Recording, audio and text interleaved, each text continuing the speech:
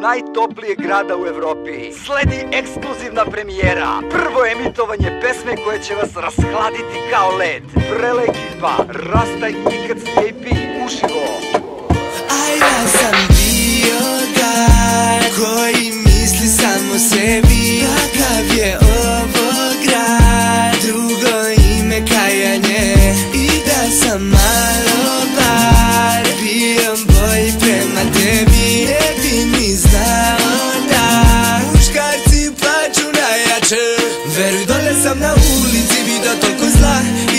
Hrane koji nemaju nikro I sve bi im sad dao da mi kažu da Tamo jednog dana opet bit ću samo tvoje. E, e, I ja sam bio glup i nisam bio svestan. Sada kad nisi tu, veruj mi, sad sve znam. Život je kažu škola, a meni loše ide. Ti više nisi moja, tek onda stvarno brinem.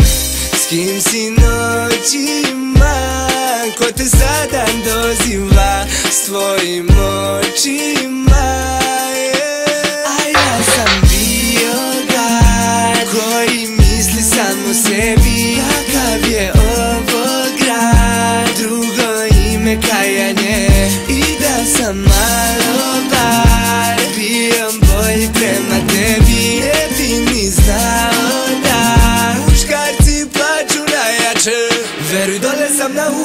vidio toliko zla I ljude bez hrane koji nemaju mikro. I sve bi im sad dao da mi kažu da Tamo jednog dana opet bit ću samo tvoje. Ja sada mi je jasno da sam te izgubio I nisu bitne te žene koje sam poljubio.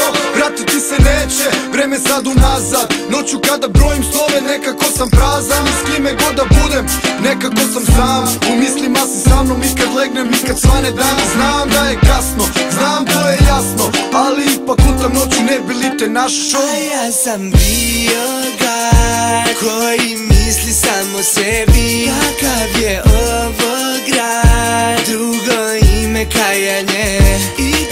ni